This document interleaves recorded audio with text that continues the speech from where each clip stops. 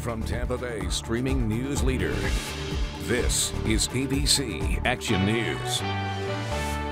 Hello, I'm Jamison Uhler. Denis has Florida's most accurate forecast in just a moment. But first, here are your ABC Action News Now headlines. Six people are dead after a shooting inside of a Milwaukee brewery. Authorities say the gunman was an employee who got fired hours earlier, and he is among the dead. The shooting happening inside the Miller Coors building. 600 people work there, and today's shooting putting area schools and businesses on lockdown. President Donald Trump is tasking his second in command with handling the country's efforts to combat the coronavirus. Vice President Mike Pence will work with the government's top health authorities. The president pushing back against criticism that his administration is not doing enough to meet the coronavirus threat. Lawmakers on Capitol Hill are calling for much more money than the $2.5 billion the White House is requesting.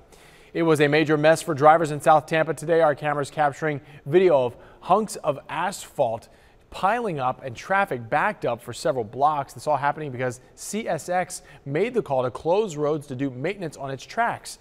The city accuses the company of going rogue and failing to communicate the shutdowns with the public. CSX plans to reopen several major roads by the morning.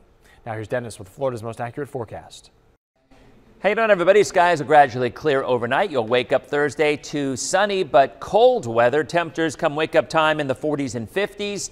Only warming up in the upper 50s to around 60 degrees later in the day, even colder on Friday morning, as we could see a near freeze in our northern counties. I think we stay sunny and cold right through the weekend.